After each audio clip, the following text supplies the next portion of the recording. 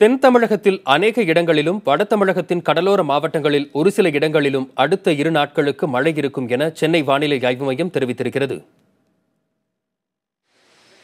இலங்கை அருகே தென்மேற்கு வங்கக்கடலில் குறைந்த காற்றழுத்த தாழ்வு நிலை உருவாகியுள்ளதாக வானிலை ஆய்வு மைய இயக்குநர் பாலச்சந்திரன் தெரிவித்துள்ளார். இன்று மதியம் செய்தியாளர்களை சந்தித்த அவர் கடந்த இருபத்தி நான்கு மணி நேரத்தில் திருநெல்வேலி மாவட்டம் பாளையங்கோட்டையில் அதிகபட்சமாக பதிமூன்று சென்டிமீட்டர் மழை பதிவாகியுள்ளதாக தெரிவித்தார்.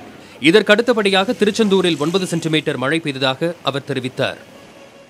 அடுத்து வரும் இரு தினங்களை பொறுத்தவரையில் தென் தமிழகத்தில் அநேக இடங்களிலும் வட தமிழகத்தின் கடலோர மாவட்டங்களில் ஒரு சில இடங்களிலும் மிதமான மழை பெய்யக்கூடும்.